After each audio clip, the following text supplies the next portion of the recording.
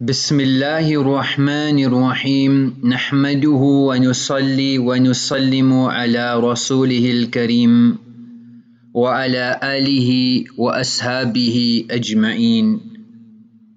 أما بعد.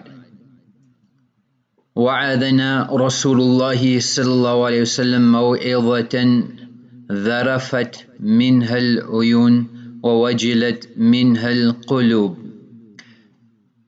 Hazrat Irbad bin Sariya says, once Nabi alayhi gave us a very, very moving speech, lecture, bayan. He delivered a very motivational talk which made our eyes flow and tear. So uh, it was such effect and, and, and, and so overwhelming wajilat minha qulub that our hearts were even uh, trembling our hearts began to melt with the words of Nabi alayhi salatu wassalam so ulama explained that the lectures of Nabi alayhi salam were not long we don't need eloquent speaker we don't need uh, orators we need good listeners فقلنا يا رسول الله إن هذه لموعظة مودع This seems to be a farewell speech فماذا تعهد إلينا What do you enjoin us to do? So it was advice that would be pertinent and important and imperative for the Ummah. So Sahaba, knowing the situation, asked for some final advice, some advice that we need to remember and uh, uh, make crucial and essential and, and vital for our life. So Nabi alayhi salam said, أو كما قال قد تركتكم على البيضاء ليلها كنهارها I am leaving you upon the path of brightness whose night is like its day whose night is like its day لا يزيغ عنها بعدي إلا هالك and no one will deviate from it after I am gone but the one who is doomed so I am giving you advice stick to this advice and that will be a means of your protection and your salvation so what I am going to tell you is a means of your salvation and protection it will be a means of escape and rescue من يعش منكم فسيرى اختلافا كثيرا Whoever will survive and live will see great conflict and discord فعليكم بما عرفتم من سنتي وسنة الخلفاء الراشدين المهديين So I urge you, I endorse you, I encourage you to adhere to what is my sunnah, my way of life, and the path of the rightly guided khulafa. Addu alayha bin nawajiz. Grab, hold steadfast, cling onto it, latch, embrace, clutch, grab onto it. So the sunnah is a salvation for every era. وَعَلَيْكُمْ بِالطَّاعَةِ and hold steadfast to obedience even if it is an Abyssinian leader still follow him فَإِنَّمَا الْمُؤْمِنِ كَالْجَمَنِ الْأَنِفِ a believer is a, like a camel that is, is uh, tied up with a ring in its nose and حَيْثُمَا قِيدَ إِنْ قَادَ wherever it is driven it complies. So compliance, we are a ayah, we are a verse, we are about sunnah. A believer is always complying. So many people are carrying EDCs. Every day carry items. We need this and you need this for your protection and you need this. But there's other EDCs which we overlook. So deen is a balanced view. Miswak, you cannot leave home without miswak. You cannot leave home without a tasbih. How you know how to use these tools? Do you know how to utilize the miswak, the sunnah methodology of howling? Where do you start in the mouth? How do you uh, trim the miswak? How long should the miswak last? Which are the occasions to utilize the miswak? So we are witnessing an era now where Nabi salam said, you will see complete uh, disintegration of society and humanity where the houses of Allah will be shut down. You will even see the house of Allah, the Baytullah shut down based on evidence which is inconclusive. You will see Allah's awamir and commands being broken open defiance of the commands of Allah even if it is the Mubarak lands, the lands of Anbiya. That's why Maulana Yusuf used to say, you can live in the land of disbelief and idolatry, but you do the work of Ambiya, you will be in Aman, you will be in peace and protection. And he said you can be living in the lands of Ambiya, but you don't do the work of Nubuwa, the effort of Nubuwa, inviting to Allah and His Rasul and seeing this deen come alive in the world, then you will not live in peace, but it will be complete annihilation. So you will see that uh, even this effort of Anbiya, there will be encouragement to stop it. There will be opposition that the work of Nubuwa, why لَقَدْ أَرْسَلْنَا رُسُلَنَا Anbiya came one by one with the effort of da'wat and tabligh and inviting to Allah. so many ayat of Quran is with regards to da'wah. The whole Quran is a da'wat. Ad'u ila Allah. Nabi alayhi salam is a da'i. Quran is a da'wat. Allah yad'u ila dar salam. Allah is da'i but you'll see open opposition, open resistance, open challenge to this work of Nubuwa and Dawat and antagonism and you will find support. You want to do wrong. You want to oppress humanity. You want to take innocent lives. For batil there will be open support and encouragement. So the world is looking for guidance.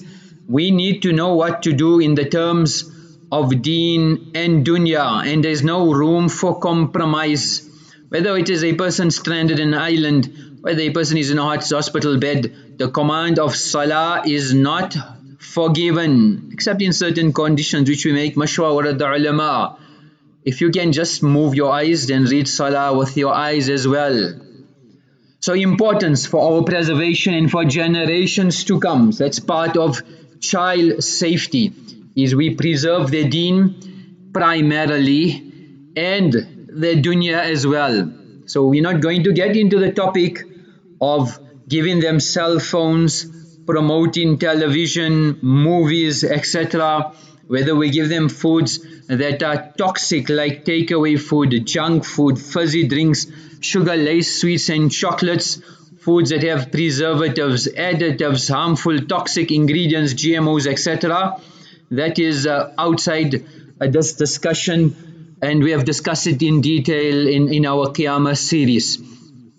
Besides education for children which generally people are uh, indoctrinating and, and, and encouraging, important is to teach our children everyday skills whether it's welding, whether it's farming, agriculture, carpentry, plumbing, electricals, whether you give each child a different skill besides the normal things that he, he's busy with every day but he should learn a skill likewise cyber security cctv cameras installation hacking etc that's also a skill and art which we we need to make our kids proficient in. Generally we consider outside the home as dangerous but sometimes your home may be the one of the most dangerous places for your child so besides vehicle injuries, children are more likely to die from an accident injuries they sustained at home than any other place.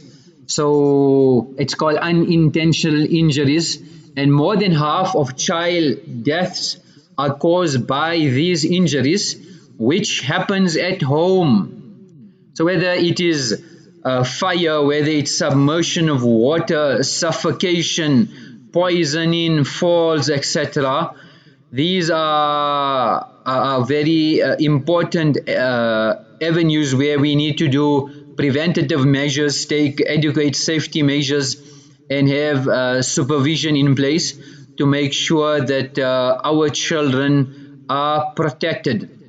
And globally, traffic injuries uh, and drowning were the leading causes of, of, of death of children under five uh, with regards to fatalities.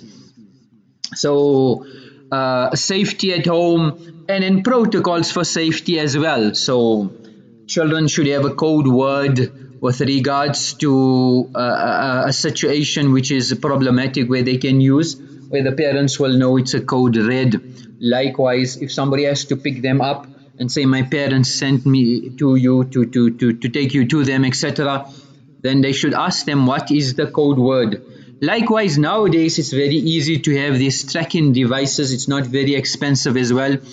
Uh, it's a tracking device where it's a watch something can be tied around their neck like people put tawises as well. Now we need GPS tawises as well. You can access the, the conversation which your children are going through. You can they can press a panic as well. They can sell in the SOS location wise there's a lot of features and a lot of trackers out there. We need to do research based on size battery life which is very important practicality uh, and it shouldn't be that something that you buy you got a Josh there's been incidents we use it and then after that it's in the shelf as well. Likewise just some basic protocols. If the child is alone at home and uh, they shouldn't be at home at, uh, alone at all but for some reason if they are at home and, and they cannot get hold uh, of anybody what number should they call who should they call protocol should be in place. Likewise if there's a smell of gas there's a steaming circuit etc if they see a fire a different situations we we need to prep them and, and, and give them an idea. So so this no knowledge starts from the cradle to the grave so starting from from uh, road traffic accidents to drowning etc that has risen globally. So more people die from road traffic injuries than from HIV AIDS tuberculosis or diarrheal diseases. And even children between the ages of 5 and 29 the major cause of death is road traffic injuries. So if we look at uh, mortality rates and, and traffic crashes. 260,000 children from the age of 0 to 19 and this is old stats. We haven't uh, we can look up the recent stats and we will see it's, it's increased phenomenally. Likewise children have accounted for 21% of all road traffic injuries which is related to deaths biiznillah globally. And uh, one in five childhood injuries and or deaths are road traffic injuries. So uh, even though the forecast by 2030 it will be the fifth leading cause of death worldwide and seventh leading cause of the DALY which is your disability adjusted life years lost.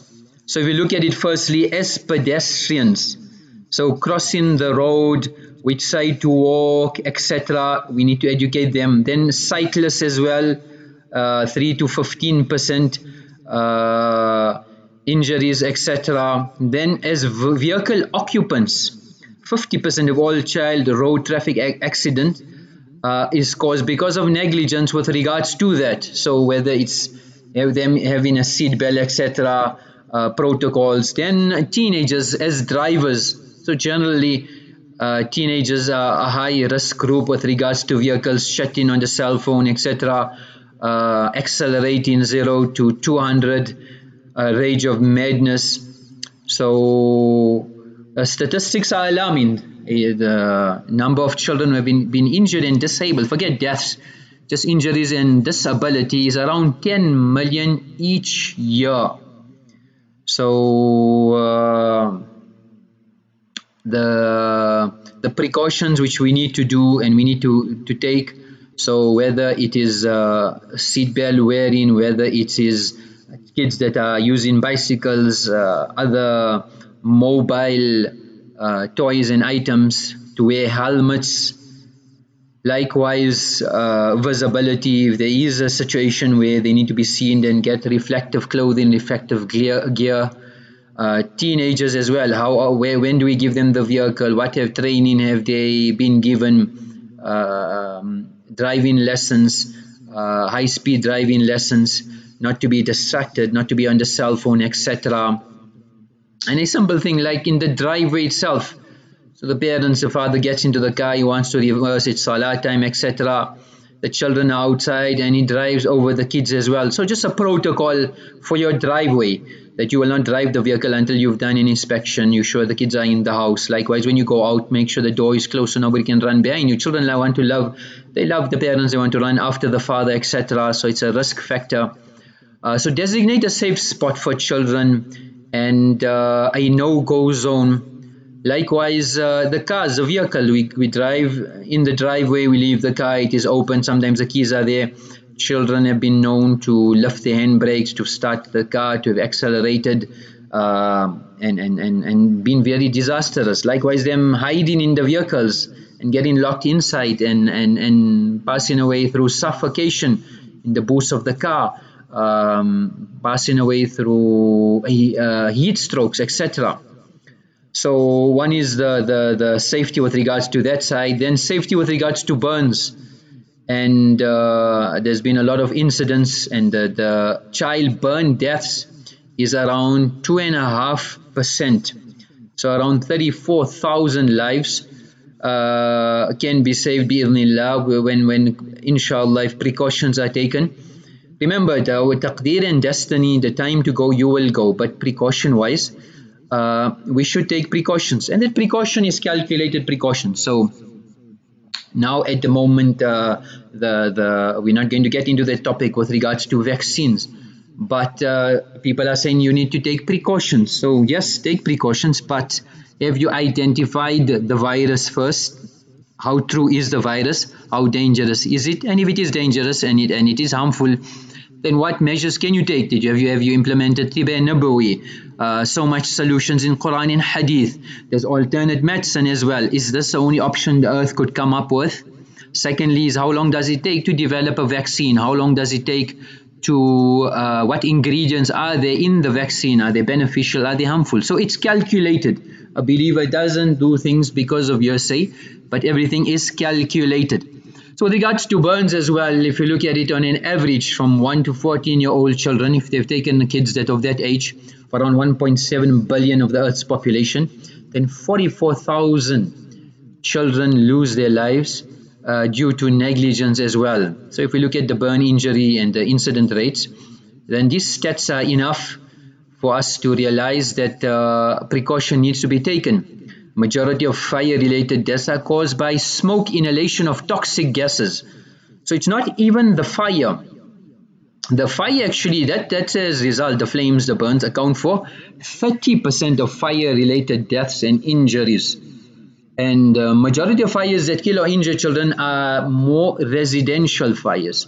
So one is the fire itself, but one is the smoke, smoke inhalation, toxic gases and uh, these statistics are uh, mentioned so that we get an idea of generally where's the negligence, the ghaflat.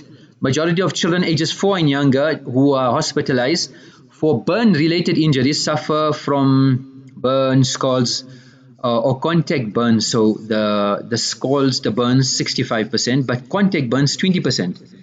And uh, fire kills about 500 children aged from 14 and under in a very short period of time. So sometimes we consider a fire as a hazard, etc. But we say in scalds uh, burns, which is hot tap, hot water, hot tap water scald burns, cause more deaths and hospitalizations than any other hot liquid burns. So negligence of leaving them alone, uh, having them access to the tap, leaving them in the bath, and knowing they can open up the hot water, etc. So if we look at even home fires and related injuries is mostly with regards to home cooking equipment. So most fire related deaths are from residential fires by uh, negligence, whether it's smoking materials, whether it's cigarettes, whether it's uh, the parents that leave their lighters, their matches, uh, other uh, flammable items in, in, clear sight. And uh, it's mostly with regards to carelessness most of the common uh, thermal burn injuries among children aged 14 and under are with simple things hair curlers, curling irons, room heaters. So the heater, So is it child safe heaters? How, how negligent are we? Do we leave the child uh, uh, alone in the room? Uh, ovens, uh, irons, fireworks. So we, we give them access to the fireworks and, and matches, but uh, it can be dangerous. Likewise, scald burns to children between the age of 6 months to 2 years are caused by hot foods or liquid spill in the kitchen or where food is prepared and, and, and served. So, uh, one in five children under the age of uh, five are due to die of home fires while they are asleep. So, residential fires, what uh, measures, precautions have we taken? Uh, what smoke alarms? Do we have uh, extinguishers? Do we have uh, uh, fire blankets? Do we have uh, hoses, etc.? So precautions need to be taken. Have smoke alarms. Have sprinkler systems in place. Um, train children with regards to all of these items, all of these safeties, all uh, educate them of how to use it in case of a fire, what should be done, uh, a fire escape plan, etc. And all these items of risk have a place where it could be placed where it has no access to that. May Allah subhanahu wa ta'ala protect one in all. The um, amal for today is تبلغ الحلية من المؤمن حيث يبلغ الوضوء that uh, making wudu, we need to make wudu properly. Try to stay in wudu condition all the time. Try to make fresh wudu if you can. The jewelry of a believer will reach as far as their wudu reaches. So that will uh, shine on the day of Qiyamah, the places of purity. وآخر دعوانا أن الحمد لله رب العالمين